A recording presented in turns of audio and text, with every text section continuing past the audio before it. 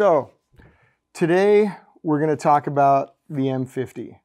And the reason we're making this video is because I think there are people that are, like I was, looking for their first DSLR or mirrorless camera, and they might be wondering if it makes sense to buy this camera, or if they should buy it, or if it's any good.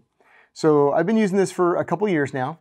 Uh, it is now my B camera, but it was my A camera, and this is still, I, I really still like this camera. It, it works great. I'm not looking at getting rid of it. So some of the things that I like about it.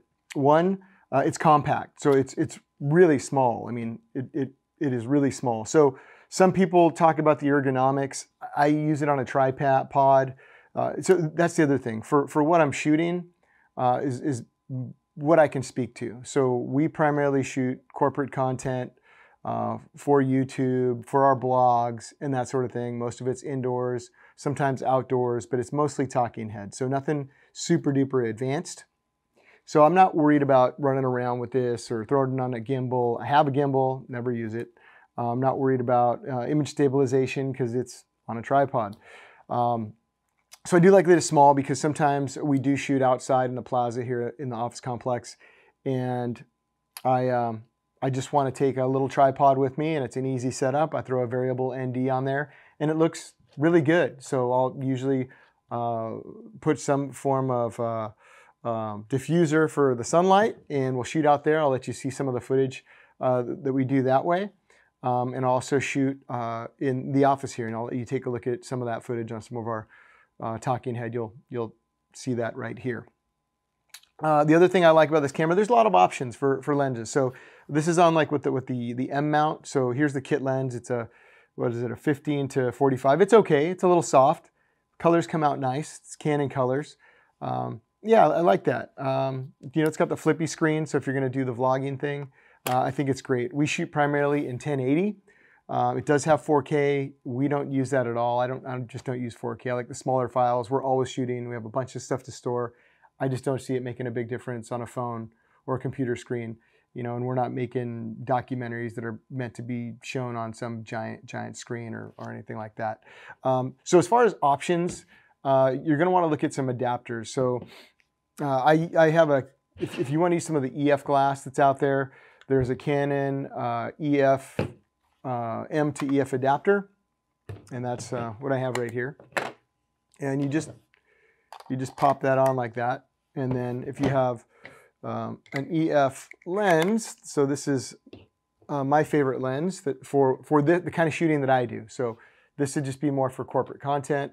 I like this 35 millimeter EF lens, and you can just pop it onto this camera like so. It's stabilized, which is nice.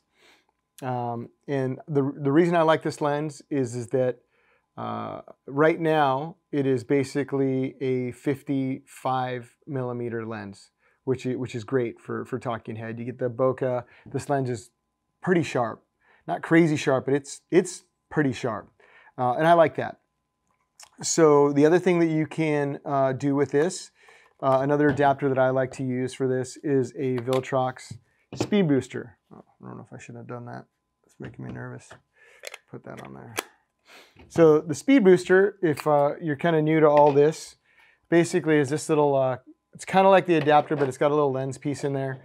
And that gives you one more stop of light. So on your f-stops, say if you're like a f 2.8, it'll be an f1.8, which is great. Gives you a little more background blur and a little more light um, in low light situations. And also it reduces the crop. So this camera is an APS-C uh, crop sensor. So it's like a 1.5 uh, crop. And the speed booster reduces that by 71% or 0.71. So that makes this almost kind of like a full frame. So now once I put the speed booster on, this 35 millimeter is now, I think somewhere around a 40 millimeter. So you kind of get two lenses in one. It's super sharp. This is my, this is my favorite setup. Uh, I also do have uh, 50 uh, millimeter as well. Sometimes in these offices, because they are so tight, uh, the 50 millimeter, if I, if I have this on like 54 millimeters, I have to I have to have the camera too far back. So I will put the speed booster on. It's at like 40 millimeters, and I can get a little bit. I can punch it a little bit closer, and it's really sharp. It looks really nice.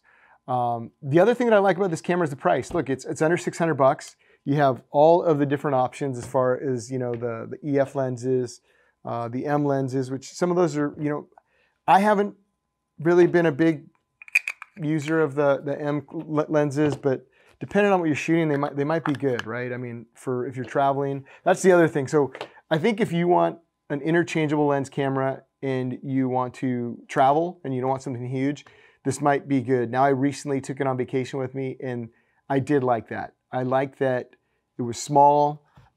And because I was traveling, I did use the kit lens because it's so small, right? And it was easy to get around. It's a little soft. I'm, I'm gonna, I might look at some other lenses for this, or, or I may just switch to a different smaller camera for traveling.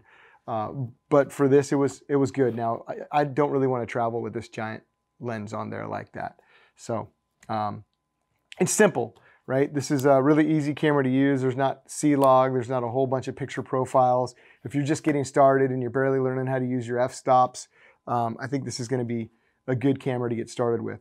Are there other cameras? Probably. I, am not familiar with them. All I can speak to is if you're thinking about getting the M50, my experience with it has been really good. Uh, we shoot, uh, we've shot a lot of content with it. Like I said, I'll, I'll, show you some of that so you can see what it looks like. And uh, I've been real happy with the way it looks. Uh, ease of use, form factor, small. Uh, the only downside on this would be that it has a 30 minute uh, record time limit. And that's the only that's the only reason I, I bought another camera because the other option was to the other uh, option was to get a, a recorder, uh, an external recorder, and I still I still might do that to have a second camera that can that, that, doesn't have a limit. But I ended up just getting a Canon C100 Mark II, which doesn't have any type of limit, and that's the reason I, I bought that so we could shoot our podcast that we're going over over 30 minutes. And then I may consider an external recorder for this, uh, so that we can just have a second camera that that that goes along. Um, so that that's the only bummer. You can't get an external recorder. As I mentioned, this is my favorite lens.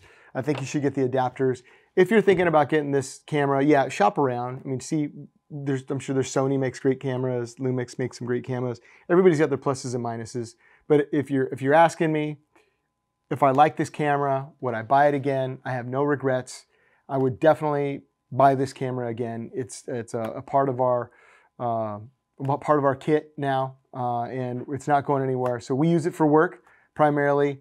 I think for my own personal traveling, I'll probably look at something else for travel. But for work, making online content, this is an awesome camera and you can do a lot with it. And I think you'd be really, really happy if you get it. So I hope that helps. If you're thinking about this camera, if you have any questions, you know, leave a comment and uh, I'll do my best to uh, let you know what my experience has been. Um, anyways, thanks a lot and we'll catch you next time.